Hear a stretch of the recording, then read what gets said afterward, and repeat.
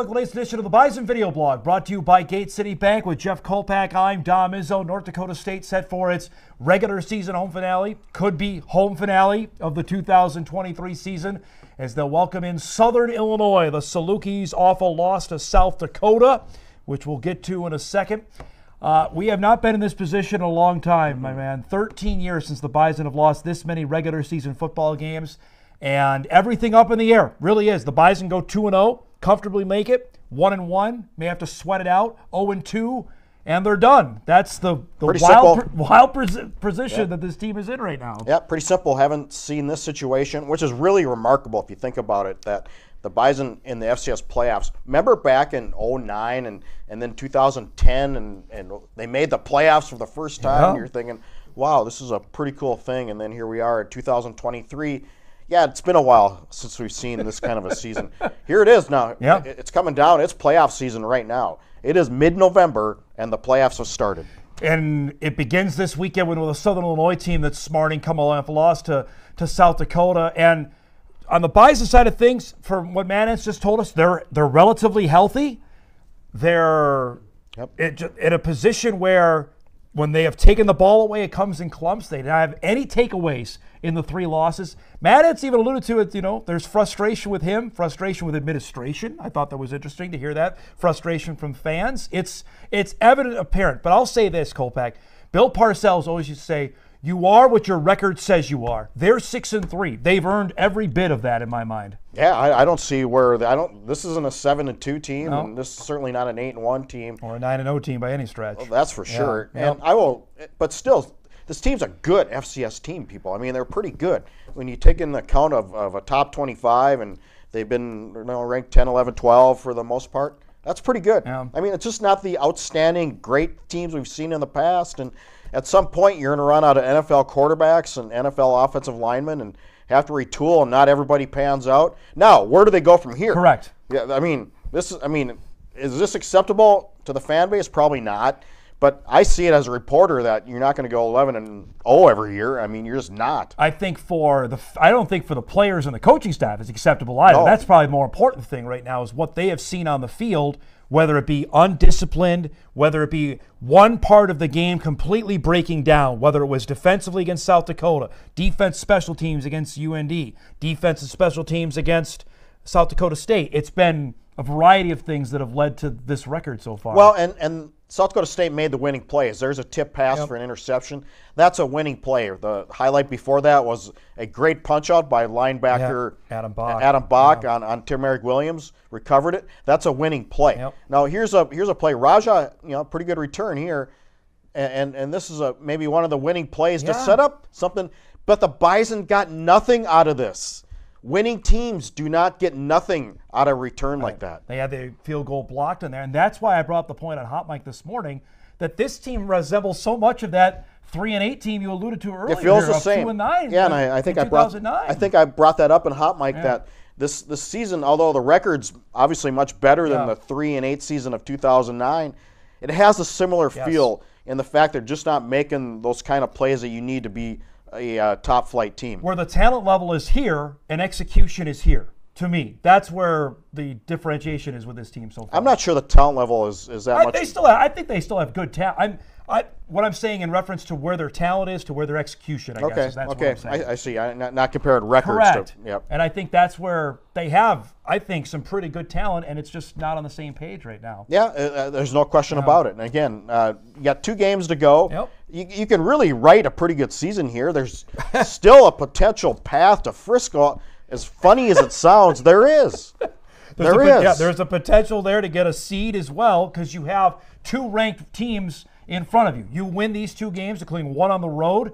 That certainly changes the whole tenor of this this entire season, frankly. Well, remember in 2010 when the Bison made the playoffs and they had to go out to Montana State, and for uh, you thought, okay, maybe Montana State would have the edge in that. Bison absolutely just flattened them Yep. in Bozeman, and that team just really, I think, had a slide up toward the end. Probably should have beat Eastern Washington. We all know what happened there. Had a chance probably to win a title there if you think the about it. The pathway was there. if, it, Yep. if if things uh, Yep. Villanova would have been at home, and and the final against a, a Delaware team that was uh, good but not great. And, and that's why it starts this weekend with Southern Illinois. And the Salukis come in exact. That's why I asked Nick Hill in our in the availability we had with him earlier today. This is almost like looking two teams in the mirror. Salukis are six and three. They're also three and three in the Valley. They lost a disappoint. The, the games that they have lost, they got blown out by Youngstown. They lost a tight game to the Jacks, and they couldn't find the end zone against South Dakota, which we'll show you in a second. They have, I think, really good talent, but they've also not performed in every game this season. Well, their offense has not performed well against the better teams, and that's evident last week against South Dakota. This team's really good defensively. I mean, look at the stats: scoring defense fifth in the country, rushing defense third in the country, total defense third in the country. Bison are going to have trouble putting up, tw- uh, getting into the twenties. I mean, they're going to have to really play well. You can't turn it over on No. these guys. That's that's the thing where I think the, the script is flipped with SIU because I remember going to this game last year. We'll get, we'll talk about the 48 year old Nick Baker in a second, but you knew SIU could put up points. How good were they defensively? Now it seems it's the other way around where they're legit on the defensive side of the ball and they don't have the dynamic playmakers on the offense that they used to. Sometimes you don't know what you're going to have when you have a team and a program that relies so much on the portal. Correct. They've they've gone all in on the portal. Yep. That's their deal. Where NDSU and South Dakota State, uh, by and large, UND, they've stayed with the high school recruiting and, and developed players. SIU has gone the other way. They're heavy into the portal. Sometimes you, you hit it, and sometimes you don't. And maybe it, they've, they've hit it defensively Yeah. and developed some guys defensively too. I mean, their safety, I think, is PJ Jules is Oh, fantastic. Yep. That guy has 10 tackles for lost yardage, and he's a safety. I mean, this guy can fill the run. And Matt Entz brought up Ubaya Steed by name. Keep an eye on him. Another safety that's going to be at the line of scrimmage, number seven. He's going to impact the game in a big time way on Saturday.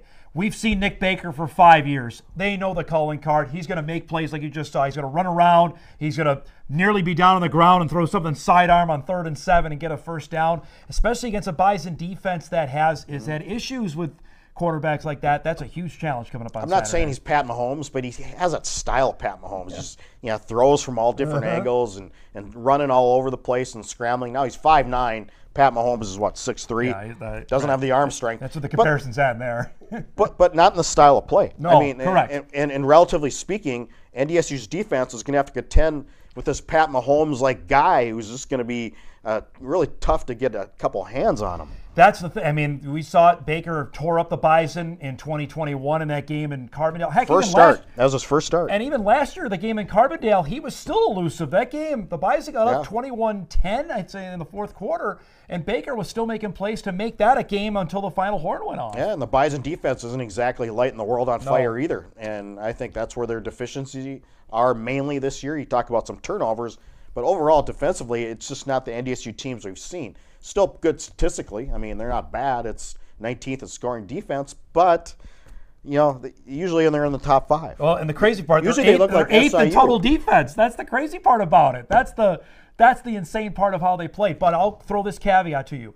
When they have not forced a turnover against the games they have lost, Mm-hmm. against South Dakota State, South Dakota, and UND, they have to do that this weekend. They've got to get the ball away Well, from easy, easier said than Correct. done. I- And I thought South Dakota State. How do, how do you create turnovers? You're, you're you get quick to the ball. You're first to the ball. You're you're more you're strong. And you're powerful and you're athletic and you have that spring and, and you get there and you create the turnovers rather than just trying to hope to make the tackle. There's a difference there. Yep.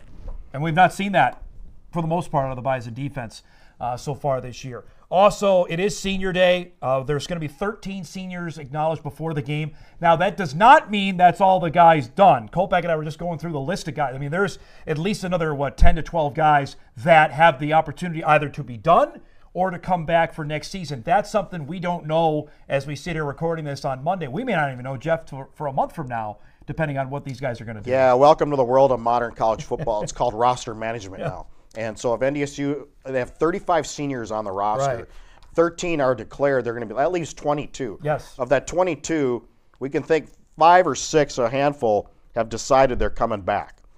There, there's a good 10, 12 we don't know Yeah, about. I, I have at least five I know that have verbally said it to me that they are coming back. Now, again, that means nothing. It's like a verbal commitment right now. You can change on that between now and and basically January one, and you throw in the part that uh, November, what is it, ni- portal. 20th, two weeks from today, is when the portal opens, and that could add a whole, whole other level into what the roster looks like for Now, the season. NDSU is under no obligation to offer a scholarship to a six-year player.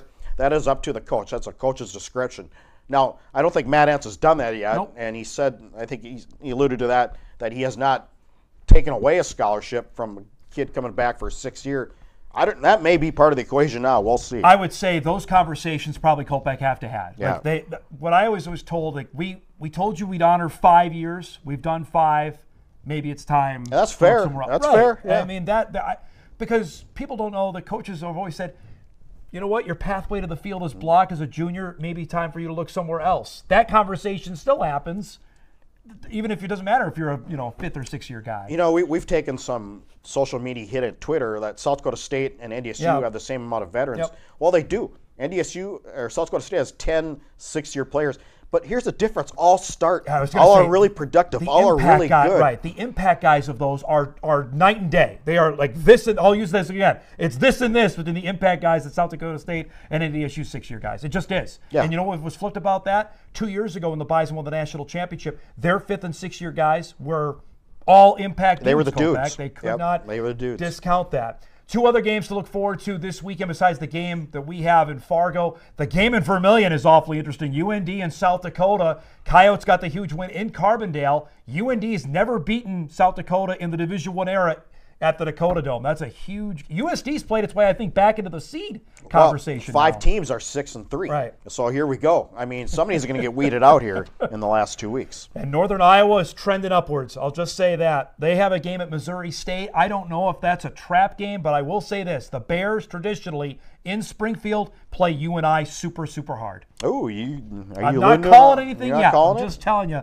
that trip that might be a tricky game uh, for the team from Cedar Falls. We'll find out coming up on Saturday. Big week of coverage on tap from Jeff, Eric Peterson, Mike McFeely, and myself and Logan Campbell. Don't forget, of course, we've got the game for you on Saturday morning, beginning at 10 a.m. with Bison Game Day. Then the game following at 2:30 between North Dakota State and Southern Illinois. For Jeff Kolpack, I'm Dom Izzo. Latest edition of the Bison Video Blog, brought to you by Gate City Bank.